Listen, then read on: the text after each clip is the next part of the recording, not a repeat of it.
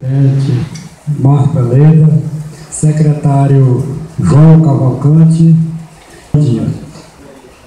Eu quero aqui relatar primeiramente o projeto do nosso presidente, projeto de lei.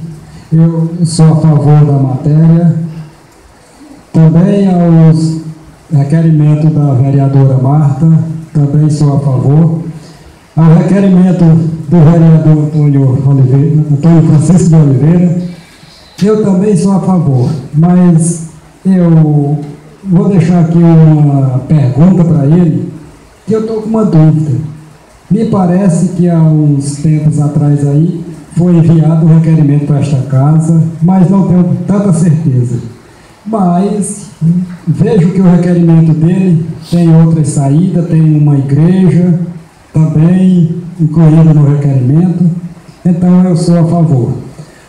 Agora eu quero dizer ao vereador que ele deveria ter feito logo o projeto completo, com a metragem certa, porque lá nós sabemos que lá é designado ao município, são quatro linhas. E o que está sendo usado lá não dá as quatro linhas. Mas isso aí nós podemos fazer um outro projeto, um outro requerimento e aprovar.